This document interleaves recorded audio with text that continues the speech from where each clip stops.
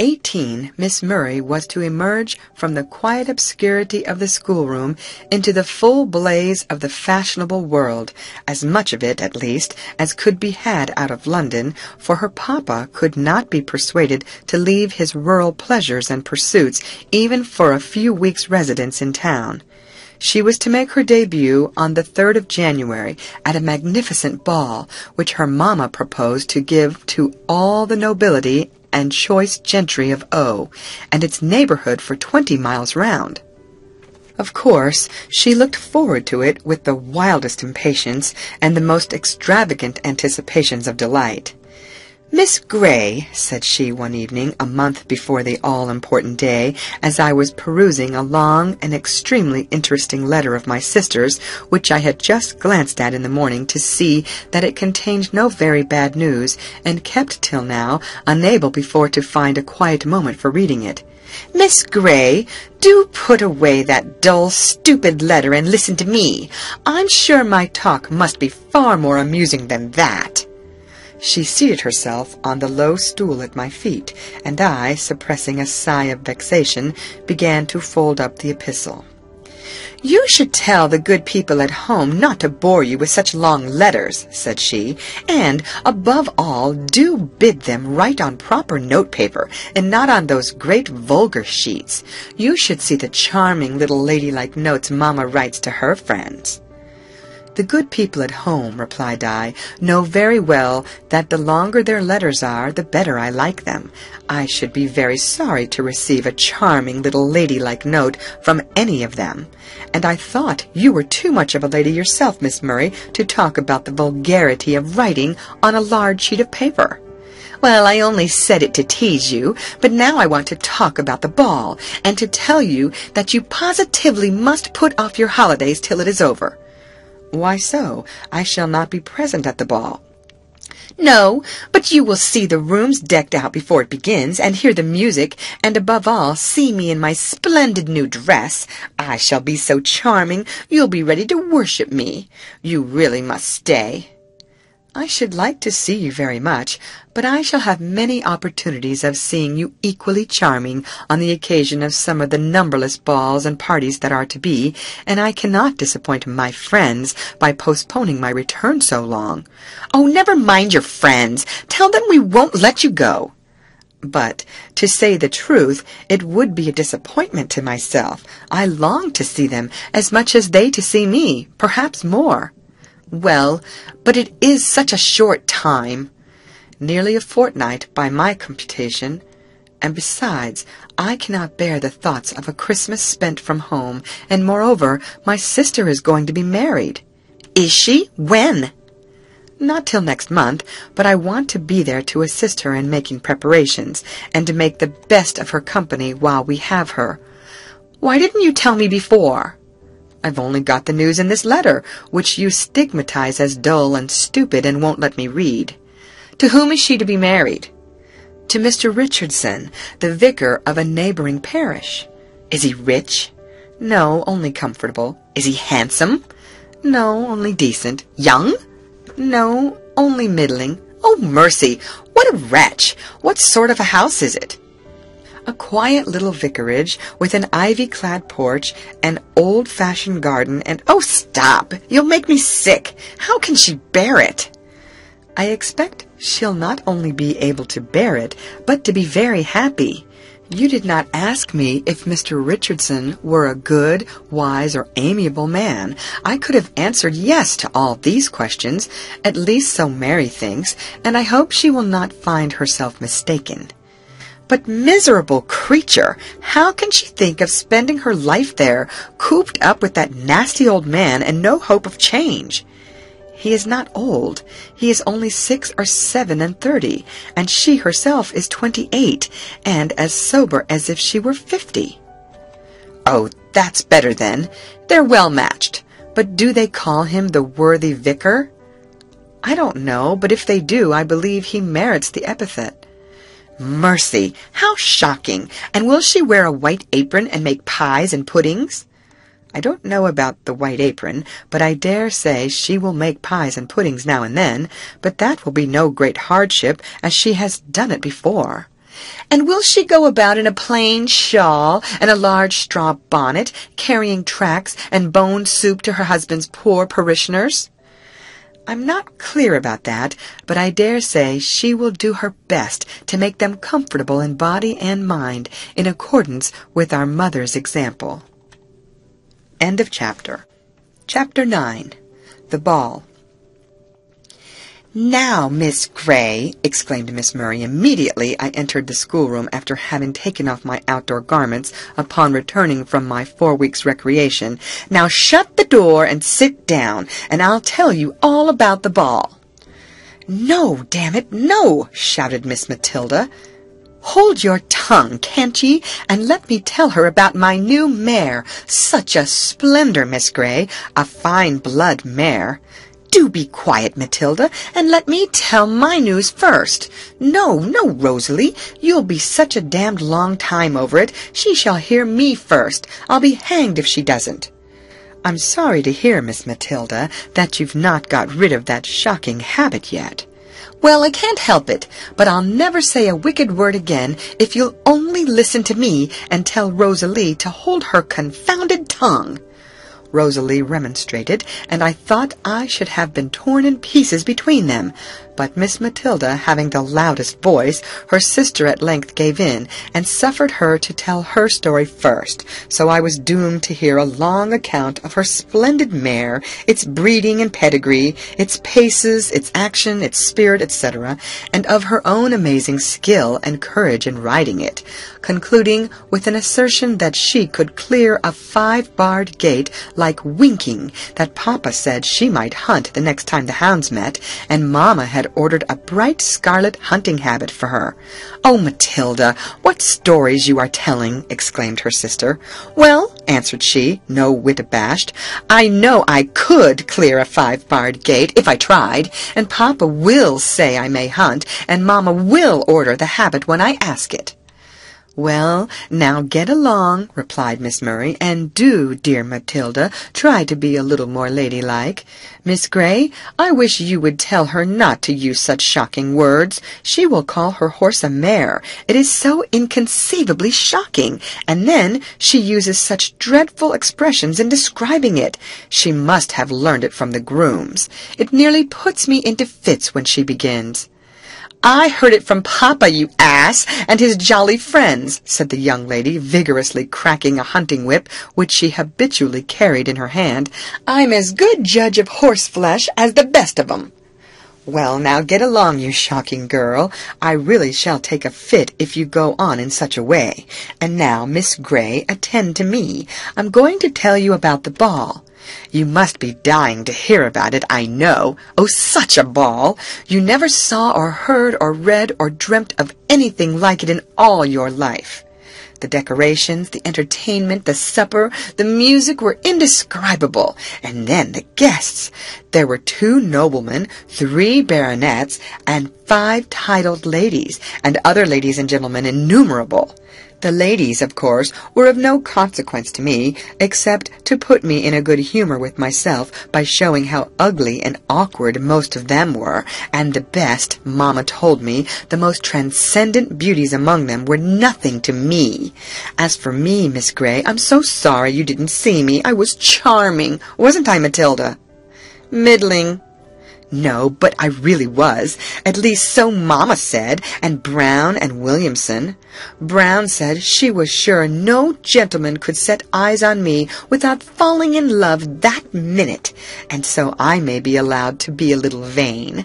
I know you think me a shocking, conceited, frivolous girl, but then, you know, I don't attribute it all to my personal attractions. I give some praise to the hairdresser, and some to my exquisitely lovely dress. You must must see it tomorrow. White gauze over pink satin, and so sweetly made, and a necklace and bracelet of beautiful large pearls.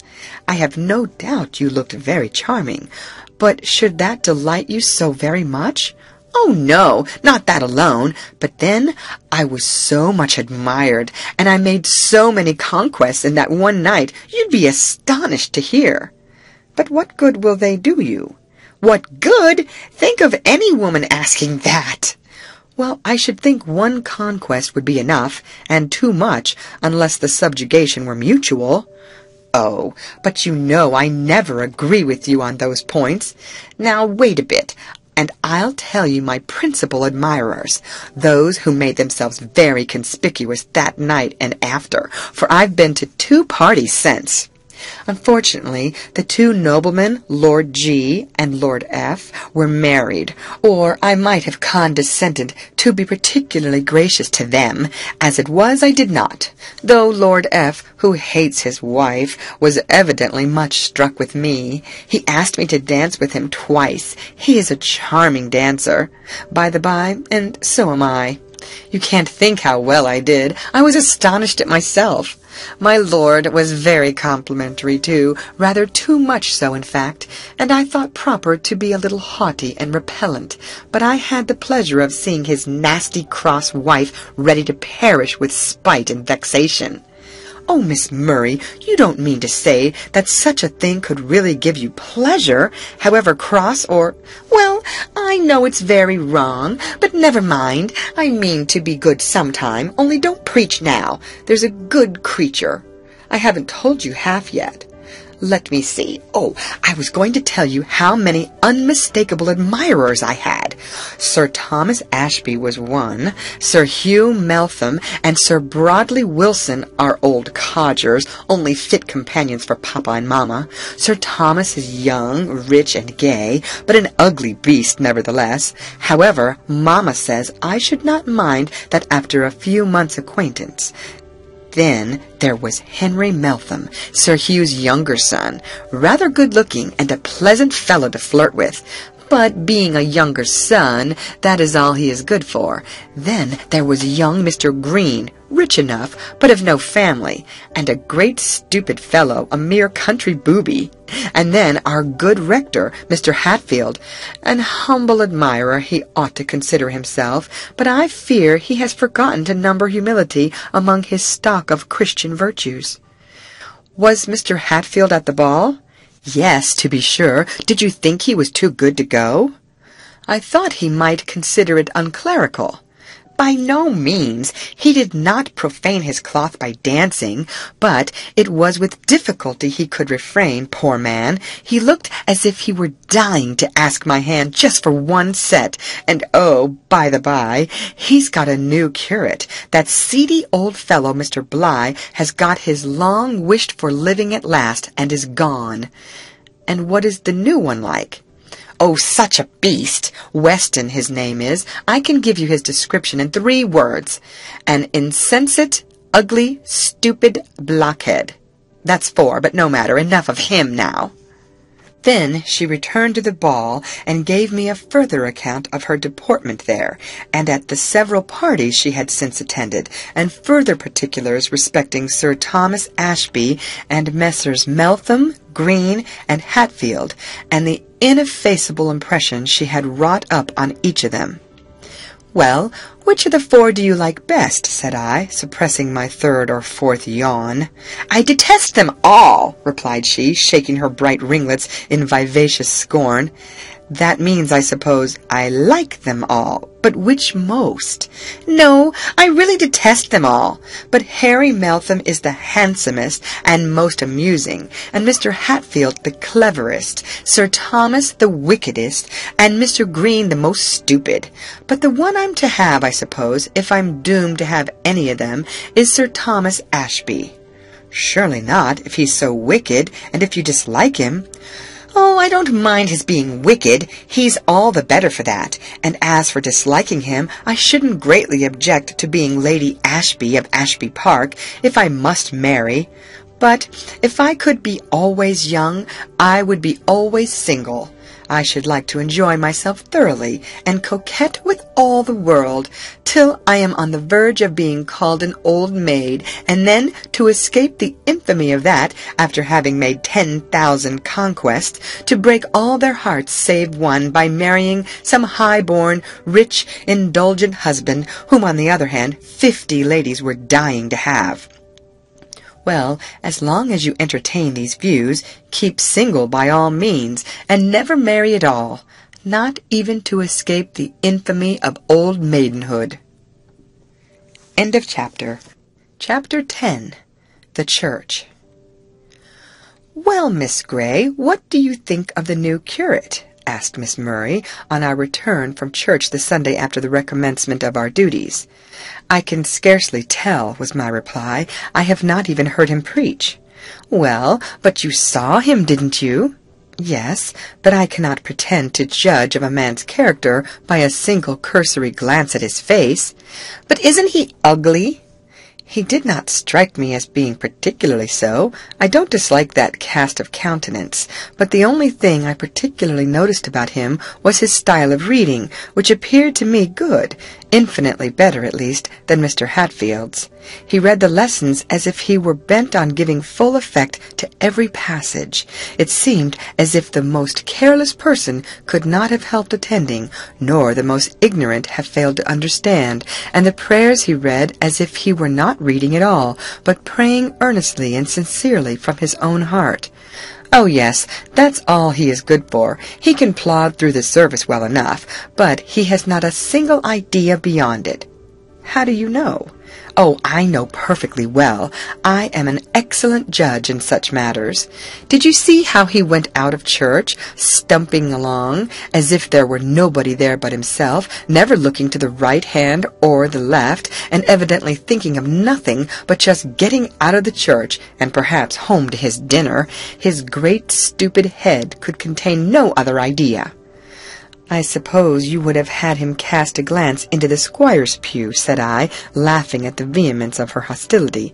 Indeed, I should have been highly indignant if he had dared to do such a thing, replied she, haughtily tossing her head. Then, after a moment's reflection, she added, Well, well, I suppose he's good enough for his place, but I'm glad I'm not dependent on him for amusement, that's all. Did you see how Mr. Hatfield hurried out to get a bow from me? and be in time to put us into the carriage? Yes, answered I, internally adding, and I thought it somewhat derogatory to his dignity as a clergyman to come flying from the pulpit in such eager haste to shake hands with the squire and hand his wife and daughters into their carriage, and moreover I owe him a grudge for nearly shutting me out of it, for in fact, though I was standing before his face close beside the carriage steps, waiting to get in, he would persist in putting them up and closing the door till one of the family stopped him by calling out that the governess was not in yet. Then, without a word of apology, he departed, wishing them good morning, and leaving the footman to finish the business. Nota bene, Mr. Hatfield never spoke to me, neither did Sir Hugh or Lady Meltham, nor Mr. Harry or Miss Meltham, nor Mr. Green or his sisters, nor any other lady or gentleman who frequented that church, nor, in fact, anyone that visited at Horton Lodge. Miss Murray ordered the carriage again in the afternoon for herself and her sister. She said it was too cold for them to enjoy themselves in the garden, and besides, she believed Harry Meltham would be at church. For, said she, smiling slyly at her own fair image in the glass, he has been a most exemplary attendant at church these last few Sundays. You would think he was quite a good Christian, and you may go with us, Miss Grey. I want you to see him. He is so greatly improved since he returned from abroad, you can't think. And besides, then you will have an opportunity of seeing the beautiful Mr. Weston again, and of hearing him preach. I did hear him preach, and was decidedly pleased with the evangelical truth of his doctrine, as well as the earnest simplicity of his manner, and the clearness and force of his style. It was truly refreshing to hear such a sermon after being so long accustomed to the dry, prosy discourses of the former curate and the still less edifying harangues of the rector. Mr. Hatfield would come sailing up the aisle, or rather sweeping along like a whirlwind, with his rich silk gown flying behind him and rustling against the pew doors, mount the pulpit like a conqueror ascending his triumphal car, then sinking on the velvet cushion in an attitude of studied grace, remain in silent prostration for a certain time, then mutter over a collect and gabble through the Lord's Prayer, rise, draw off one bright lavender glove to give the congregation the benefit of his sparkling rings, lightly pass his fingers through his well-curled hair, flourish a cambric handkerchief, recite a very short passage, or perhaps a mere phrase of Scripture as a headpiece to his discourse, and finally deliver a composition which as a composition might be considered good, though far too studied and too artificial to be pleasing to me, the propositions were well laid down, the arguments logically conducted, and yet it was sometimes hard to listen quietly throughout without some slight demonstrations of disapproval or impatience.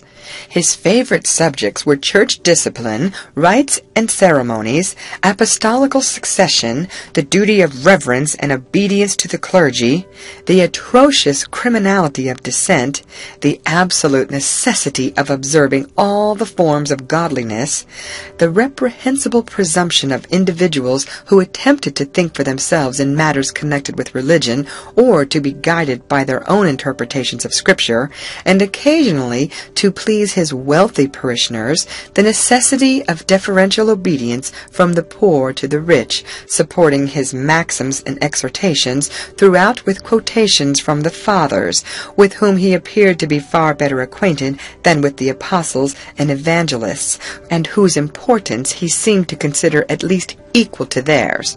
But now and then he gave us a sermon of a different order, what some would call a very good one, but sunless and severe, representing the deity as a terrible taskmaster rather than a benevolent father. Yet, as I listened, I felt inclined to think the man was sincere in all he said.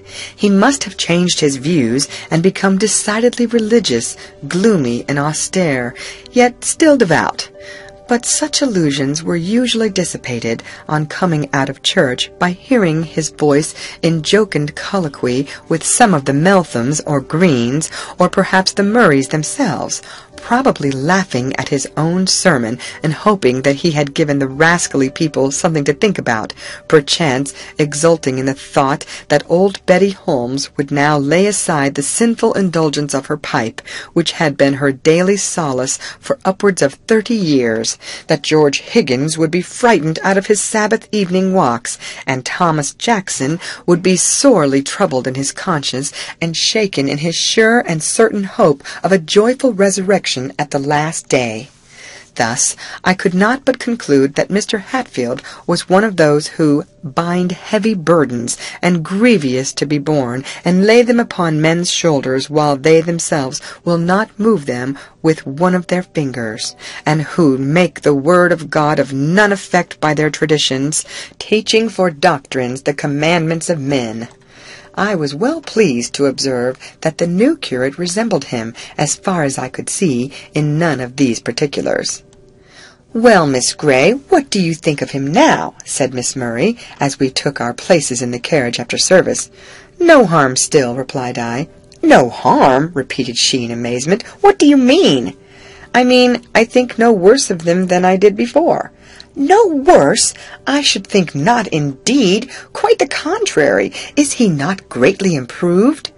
"Oh, yes, very much indeed," replied I, for I had now discovered that it was Harry Meltham she meant, not Mr. Weston. That gentleman had eagerly come forward to speak to the young ladies, a thing he would hardly have ventured to do had their mother been present. He had likewise politely handed them into the carriage. He had not attempted to shut me out, like Mr. Hatfield, neither, of course, had he offered me his assistance. I should not have accepted it if he had, but as long as the door remained open, he had stood smirking and chatting with them, and then lifted his hat and departed to his own abode. But I had scarcely noticed him all the time. My companions, however, had been more observant, and as we rolled along, they discussed between them not only his looks, words, and actions, but every feature of his face and every article of his apparel. "You shan't have him all to yourself, Rosalie," said Miss Matilda at the close of this discussion. "I like him. I know he'd make a nice jolly companion for me." Well, you're quite welcome to him, Matilda, replied her sister in a tone of affected indifference. And I'm sure, continued the other, he admires me quite as much as he does you, doesn't he, Miss Grey? I don't know. I'm not acquainted with his sentiments.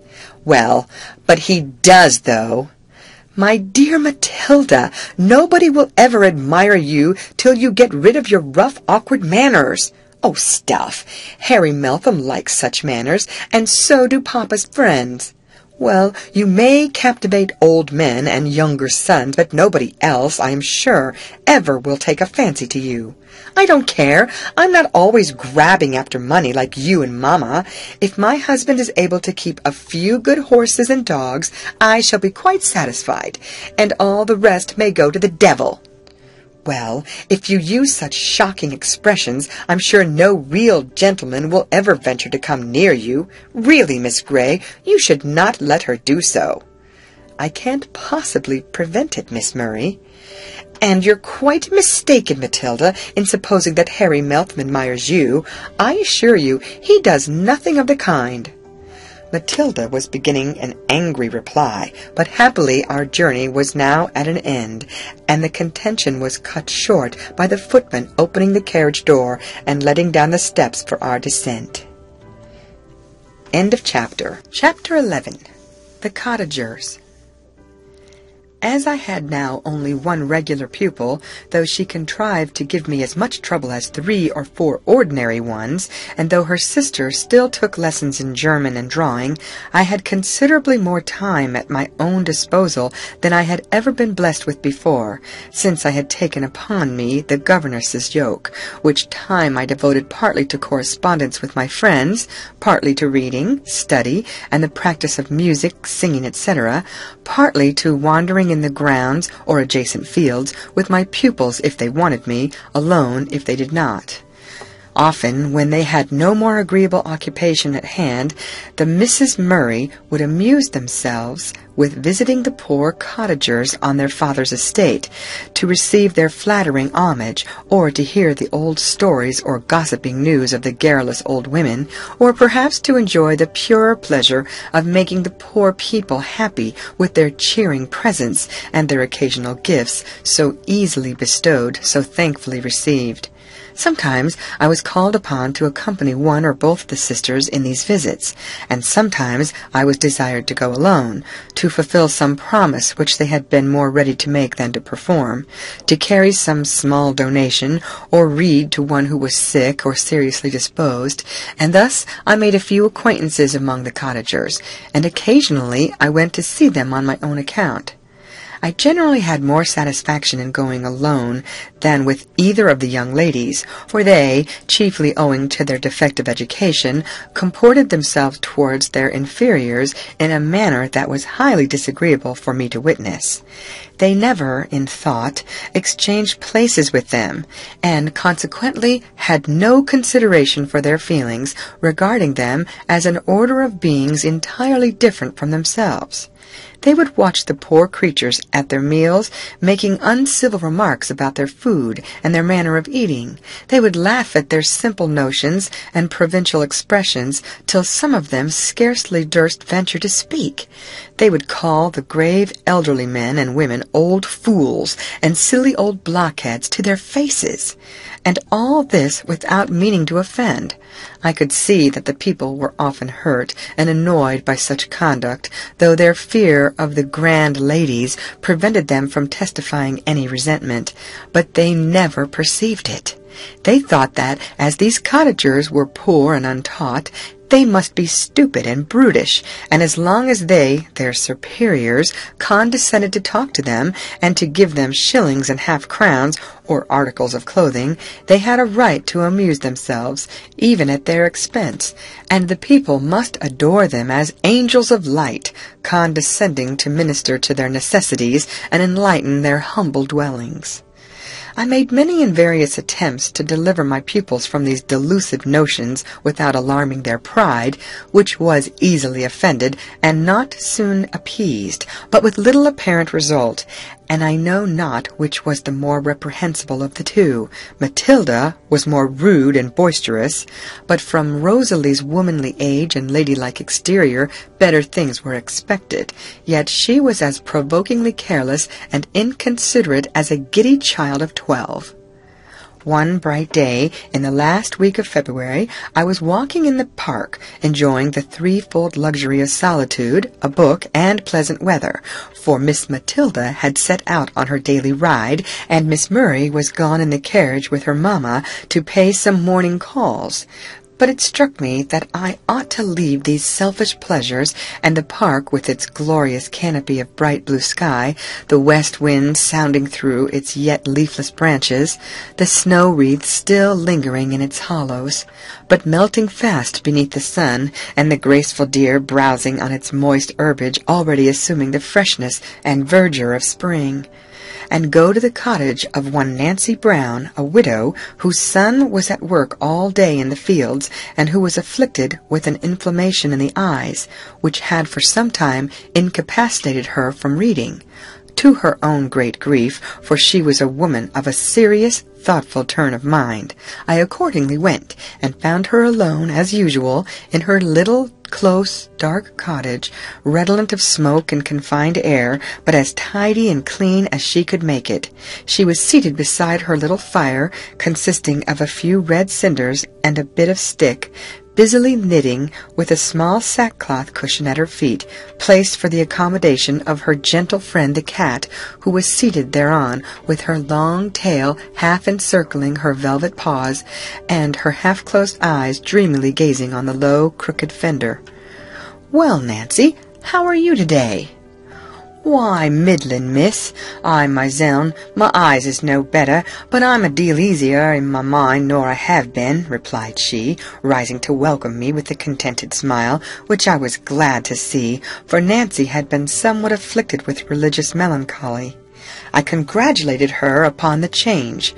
She agreed that it was a great blessing, and expressed herself right down thankful for it adding, If it please God to spare my sight and make me so as I can read my Bible again, I think I shall be as happy as a queen.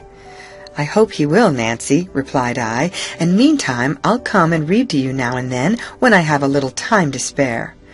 With expressions of grateful pleasure, the poor woman moved to get me a chair, but as I saved her the trouble, she busied herself with stirring the fire and adding a few more sticks to the decaying embers, and then, taking her well-used Bible from the shelf, dusted it carefully and gave it me. On my asking if there was any particular part she should like me to read, she answered, well, Miss Grey, if it's all the same to you, I should like to hear that chapter in the first epistle of St. John that says, God is love, and he that dwelleth in love dwelleth in God, and God in him. With a little searching, I found these words in the fourth chapter. When I came to the seventh verse, she interrupted me, and with needless apologies for such a liberty, desired me to read it very slowly, that she might take it all in, and dwell on every word, hoping I would excuse her, as she was but a simple body. The wisest person, I replied, might think over each of these verses for an hour, and be all the better for it, and I would rather read them slowly than not. Accordingly, I finished the chapter as slowly as need be, and at the same time as impressively as I could. My auditor listened most attentively all the while, and sincerely thanked me when I had done. I sat still about half a minute to give her time to reflect upon it, when, somewhat to my surprise, she broke the pause by asking me how I liked Mr. Weston.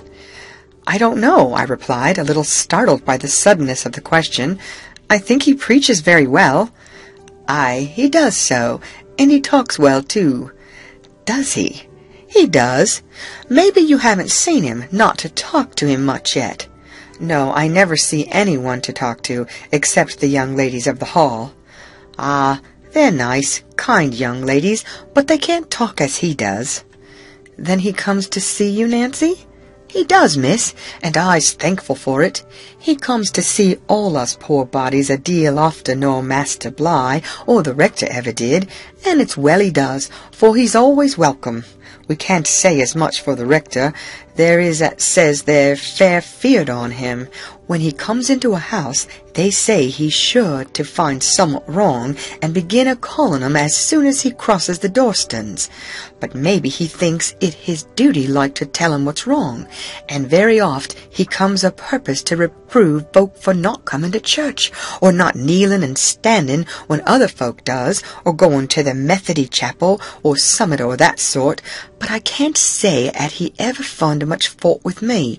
He came to see me once or twice afore Master Weston come, when I was so ill troubled in my mind, and as I had only very poor health besides, I made bold to send for him, and he came right enough. I was sore distressed, Miss Grey. Thank God it's o'er now, but when I took my Bible, I couldn't get no comfort of it at all. That very chapter you've just been reading troubled me as much as aught. He that loveth not knoweth not God. It seemed fearsome to me, for I felt that I loved neither God nor man as I should do, and could not, if I tried ever so. And the chapter afore, where it says, He that is born of God cannot commit sin and another place where it says, Love is the fulfilling of the law, and many, many others, miss. I should fair weary you out if I was to tell them all, but all seemed to condemn me, and to show me that I was not in the right way, and as I knew not how to get into it, I sent out Bill to beg Maester Hatfield to be as kind as look in on me some day, and when he came, I told him all my troubles. And what did he say, Nancy? Why, miss, he seemed to scorn me. I might have been mistaken, but he like gave a sort of a whistle, and I saw a bit of a smile on his face, and he said, Oh, it's all stuff. You've been among the Methodists, my good woman. But I told him I'd never been near the Methodies, and then he said, Well, says he, you must come to church, where you'll hear the scriptures properly explained, instead of sitting poring over your Bible at home.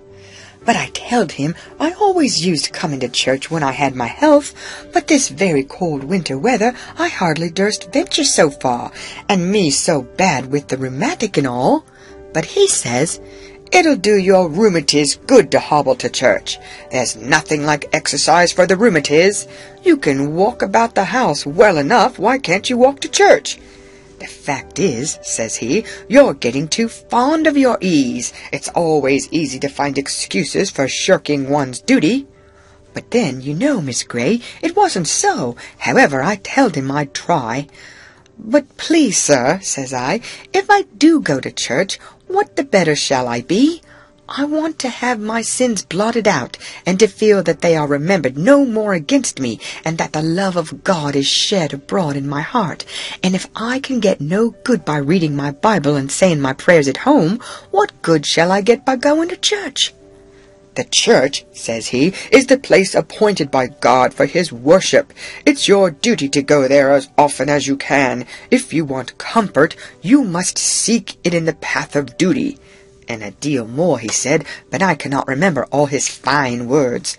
However, it all came to this, that I was to come to church as oft as ever I could, and bring my prayer book with me, and read up all the sponsors after the clerk, and stand and kneel and sit and do all as I should, and take the Lord's Supper at every opportunity, and hearken his sermons, and Master Bligh's, and it'd be all right if I went on doing my duty, I should get a blessing at last. But if you get no comfort that way, says he, it's all up. Then, sir, says I, should you think I'm a reprobate? Why, says he, he says, if you do your best to get to heaven and can't manage it, you must be one of those that seek to enter it at the strait gate and shall not be able. And then he asked me if I'd seen any of the ladies of the hall about that morning, so I told him where I had seen the young missus go on the moss lane, and he kicked my poor cat right across the floor, and went after him as gay as a lark. But I was very sad. That last word of his fair sunk into my heart, and lay there like a lump of lead, till I was weary to bear it. Howsever, I followed his advice. I thought he meant it all for the best, though he had a queer way with him. But you know, miss, he's rich and young, and such like cannot right understand the thoughts of a poor old woman such as me. But howsever, I did my best to do all as he bade me. But maybe I'm plaguing you, miss, with my chatter. Oh, no, Nancy, go on and tell me all. Well, my rheumatiz got better. I know not whether with going to church or not, but one frosty Sunday I got this coal in my eyes. The inflammation didn't come on all at once like, but bit by bit. But I wasn't going to tell you about my eyes. I was talking about my trouble of mind, and to tell the truth, Miss Grey, I don't think it was anyways eased by coming to church, not to speak on at least.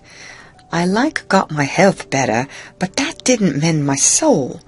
I hearkened and hearkened the ministers, and read and read at my prayer book, but it was all like sounding brass and a tinkling cymbal. The sermons I couldn't understand, and the prayer book only served to show me how wicked I was, that I could reach such good words and never be no better for it, and often feel it a sore labor and a heavy task beside, instead of a blessing and a privilege as all good Christians does. It seemed like as all were barren and dark to me. And then them dreadful words, Many shall seek to enter in, and shall not be able. They like as they fair dried up my spirit. But one Sunday, when Maester Hatfield gave out about the sacrament, I noticed where he said, If there be any of you that cannot quiet his own conscience, but requireth further comfort or counsel, let him come to me, or some other discreet and learned minister of God's word, and open his grief. So next Sunday morning afore service, I just looked into the vestry and began a talking to the rector again. I hardly could fashion to take such a liberty, but I thought when my soul was at stake I shouldn't stick at a trifle. But he said he hadn't time to attend to me then. And indeed, says he, I've nothing to say to you but what I've said before. Take the sacrament, of course, and go on doing your duty, and if that won't serve you, nothing will, so don't bother me any more. So then I went away, but I heard Master Weston. Master Weston was there, miss. This was his first Sunday at Horton, you know, and he was in the vestry in his surplice, helping the rector on with his gown. Yes, Nancy, and I heard him ask Master Hatfield who I was, and he says, Oh, she's a canting old fool. And I was very ill grieved, Miss Grey, but I went to my seat, and I tried to do my duty as aforetime, but I like got no peace. And I even took the sacrament, but I felt as though I were eating and drinking to my own damnation all the time. So I went home sorely troubled. But next day, afore I'd gotten fettled up, for indeed, miss, I'd no heart to sweepin' and fettlin' and washin' pots, so I sat me down in the muck. Who should come in but Master Weston? I started siding stuff then, and sweepin' and doin', and I expected he'd begin a callin' me for my idle ways, as Master Hatfield would have done. But I was mistaken. He only bid me good morning like, in a quiet, decent way. So I dusted him a chair and fettled up the fireplace a bit, but I hadn't forgotten the rector's words, so says I, I wonder, sir, you should give yourself that trouble to come so far to see a canting old fool such as me. He seemed taken aback at that, but he would fain persuade me that the rector was only in jest, and when that wouldn't do, he says, well, Nancy, you shouldn't think so much about it. Mr. Hatfield was a little out of humour just then. You know we're none of us perfect. Even Moses spoke unadvisedly with his lips. But now sit down a minute, if you can spare the time, and tell me all your doubts and fears, and I'll try to remove them. So I sat me down and nent him. He was quite a stranger, you know, Miss Grey, and even younger nor Master Hatfield, I believe, and I had thought him not so pleasant looking as him, and rather a bit crossage at first to look at, but he spake so civil-like, and when the cat, poor thing, jumped onto his knee, he only stroked her, and gave a bit of a smile. So I thought that was a good sign, for once when she did so to the rector he knocked her off, like as it might be in scorn and anger, poor thing. But you can't expect a cat to know manners like a Christian, you know, Miss Grey. No, of course not, Nancy. But what did Mr. Weston say then? He said naught, but he listened to me as steady and patient as could be, and never a bit of scorn about him. So I went on and telled him all, just as I've telled you, and more too. Well, says he, Mr. Hatfield was quite right in telling you to persevere in doing your duty, but in advising you to go to church and attend to the service and so on, he didn't mean that was the whole of a Christian's duty. He only thought you might there learn what more was to be done, and be led to take delight in those exercises instead of finding them a task and a burden. And if you had asked him to explain those words that trouble you so much, I think he would have told you that if many shall seek to enter in at the strait gate, and shall not be able, it is their own sins that hinder them, just as a man with a large sack on his back might wish to pass through a narrow doorway, and find it impossible to do so unless he would leave his sack behind him. But you, Nancy, I dare say, have no sins that you would not gladly throw aside, if you knew how. Indeed, sir, you speak truth, said I. Well, says he, you know the first and great commandment, and the second, which is like unto it, on which two commandments hang all the law and the prophets. You say you cannot love God, but it strikes me that if you rightly consider who and what He is, you cannot help it. He is your Father, your best friend. Every blessing, everything good, pleasant or useful comes from him, and everything evil, everything you have reason to hate, to shun, or to fear, comes from Satan, his enemy as well as ours. And for this cause was God manifest in the flesh, that he might destroy the works of the devil. In one word, God is love. And the more of love we have within us, the nearer we are to him, and the more of his spirit we possess. Well, sir, I said, if I can always think on these things, I think I might well love God. But how can I love my neighbors when they vex me and be so contrary and sinful as some of 'em is? It may seem a hard matter, says he, to love our neighbors, who have so much of what is evil about them, and whose faults so often awaken the evil that lingers within ourselves, but remember that he made them, and he loves them, and whosoever loveth him that begat, loveth him that is begotten also. And if God so loveth us, that he gave his only begotten Son to die for us, we ought also to love one another. But if you cannot feel positive affection for those who do not care for you, you can at least try to do to them as you would they should do unto you. You can endeavor to pity their failings and excuse their offenses, and to do all the good you can to those about you. And if you accustom yourself to this, Nancy, the very effort itself will make you love them in some degree, to say nothing of the goodwill your kindness would beget in them though they might have little else that is good about them. If we love God and wish to serve Him, let us try to be like Him, to do His work, to labor for His glory, which is the good of man, to hasten the coming of His kingdom, which is the peace and happiness of all the world. However powerless we may seem to be in doing all the good we can through life, the humblest of us may do much towards it and let us dwell in love, that he may dwell in us, and we in him. The more happiness we bestow, the more we shall receive even here, and the greater will be our reward in heaven when we rest from our labors.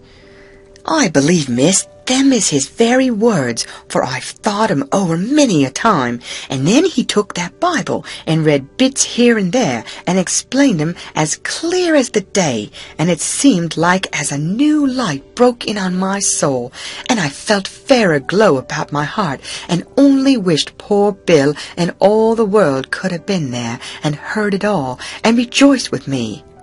After he was gone, Hannah Rogers, one of the neighbors, came in and wanted me to help her to wash.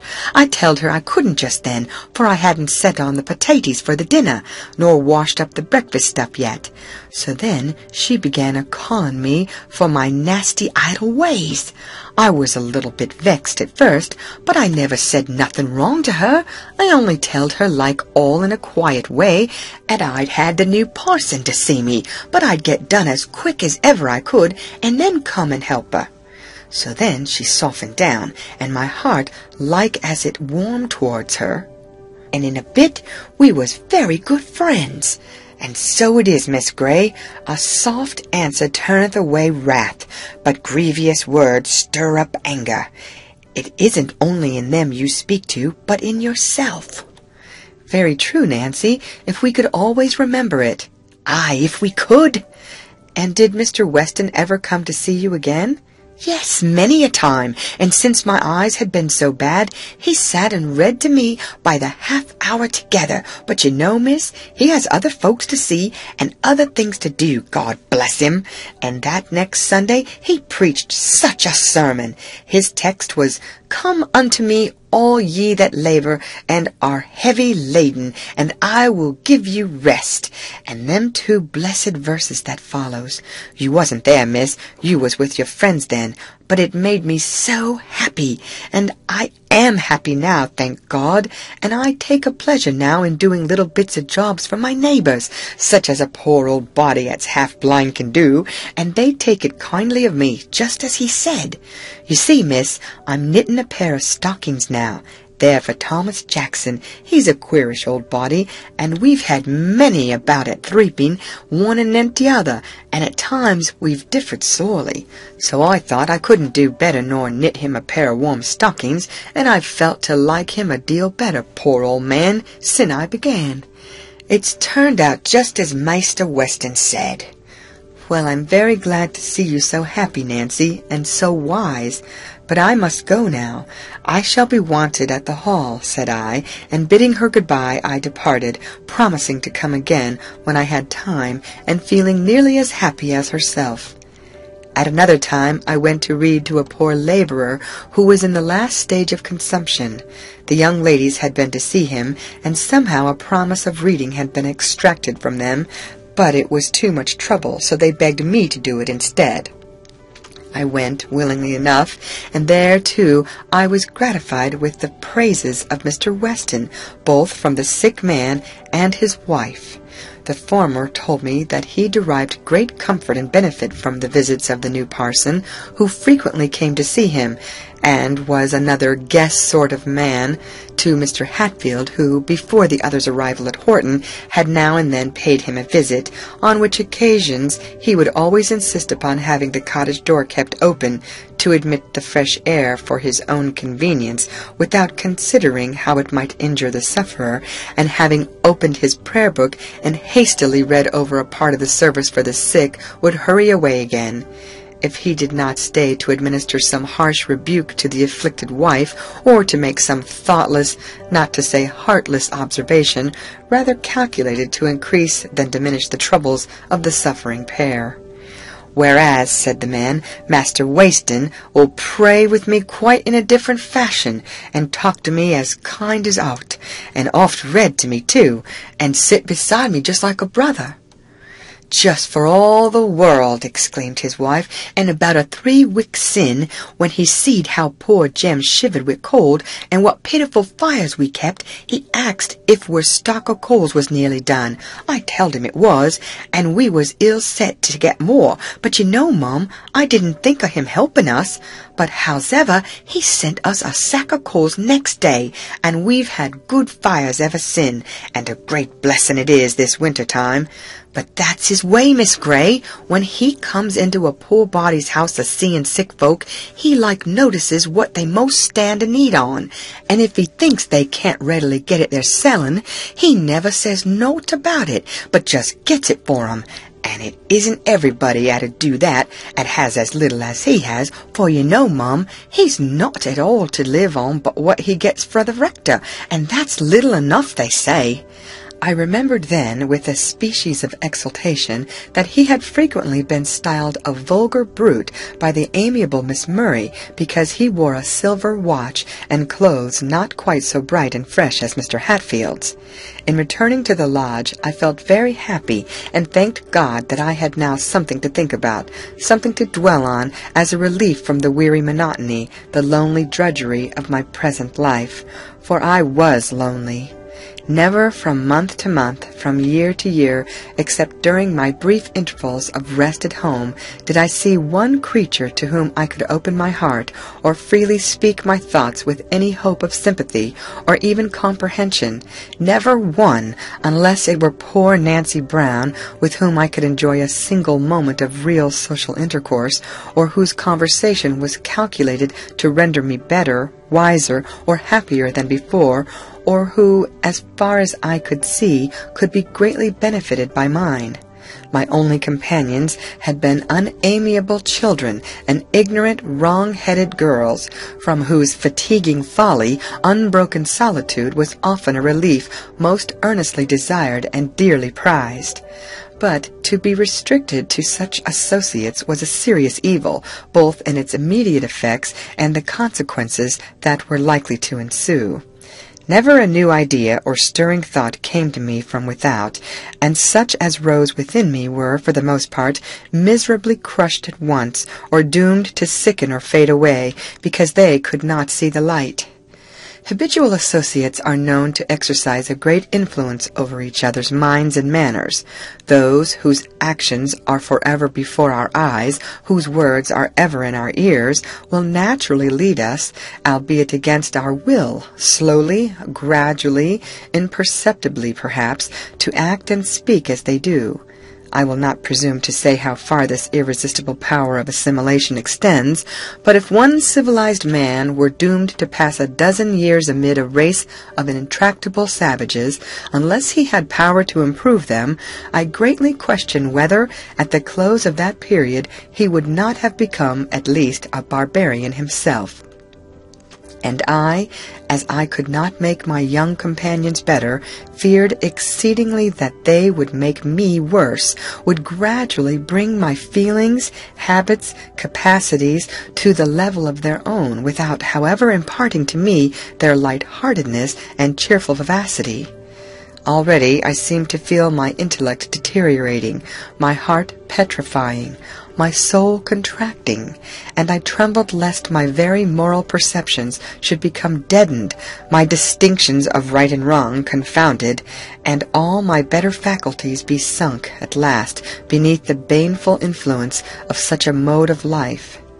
The gross vapors of earth were gathering around me and closing in upon my inward heaven, and thus it was that Mr. Weston rose at length upon me, appearing like the morning star in my horizon, to save me from the fear of utter darkness, and I rejoiced that I had now a subject for contemplation that was above me, not beneath. I was glad to see that all the world was not made up of Bloomfields, Murrays, Hatfields, Ashbys, etc., and that human excellence was not a mere dream of the imagination. When we hear a little good and no harm of a person, it is easy and pleasant to imagine more. In short, it is needless to analyze all my thoughts, but Sunday was now become a day of peculiar delight to me. I was now almost broken in to the back corner in the carriage, for I liked to hear him, and I liked to see him too, though I knew he was not handsome, or even what is called agreeable in outward aspect, but certainly he was not ugly. In stature he was a little a very little above the middle size. The outline of his face would be pronounced too square for beauty, but to me it announced decision of character. His dark brown hair was not carefully curled like Mr. Hatfield's, but simply brushed aside over a broad white forehead. The eyebrows, I suppose, were too projecting, but from under those dark brows there gleamed an eye of singular power, brown in color, not large, and somewhat deep set, but strikingly brilliant and full of expression. There was character, too, in the mouth, something that bespoke a man of firm purpose and an habitual thinker, and when he smiled, but I will not speak of that yet, for at the time I mention I had never seen him smile, and indeed his general appearance did not impress me with the idea of a man given to such a relaxation, nor of such an individual as the cottagers described him. I had early formed my opinion of him, and, in spite of Miss Murray's objurgations, was fully convinced that he was a man of strong sense, firm faith, and ardent piety, but thoughtful and stern, and when I found that to his other good qualities was added that of true benevolence and gentle, considerate kindness, the discovery perhaps delighted me the more, as I had not been prepared to expect it. End of chapter.